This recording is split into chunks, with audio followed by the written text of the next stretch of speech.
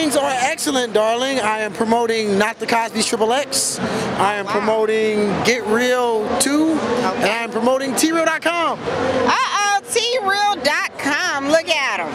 Behind that good camera. So if you're trying to be fucked good and make money, might want to give me a call. Ah, damn. Might want to find me on Twitter. Might want you're to look for me Twitter on, bug, look, huh? look for me on MySpace. You're a Twitter bug. Everybody's on Twitter Gotta now. be, gotta be now. Because this is Twitter land. We're in Twitter land. Remember the good old days? I just write a fucking letter to somebody and call it a day. Now you want to know where I'm at all the fucking time. Well, that's not a bad thing. Well, it depends on who you're trying to get away from. Oh, okay. He's I fuck a get. lot- I he's fuck a not lot of trying to get away from his fans, No, though. not no, not you all. I like you. I have a lot of female stalkers. Oh my God,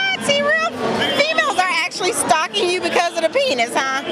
Well, don't give it to them like that. Then they ain't gotta stalk you. If I give it to them horrible, I won't get a check.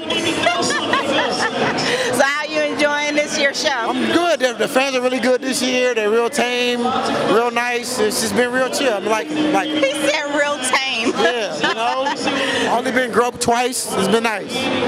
Only twice. And it was a grandmother and it was a daughter, so that was cool. The grandma and the daughter. The grandmother was like, she was like 84.